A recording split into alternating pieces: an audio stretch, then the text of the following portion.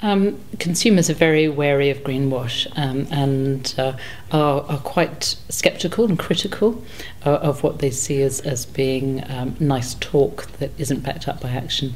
And I think within the marketing community now we're, we're really moving away from, from seeing communication as actually being purely about sending out messages.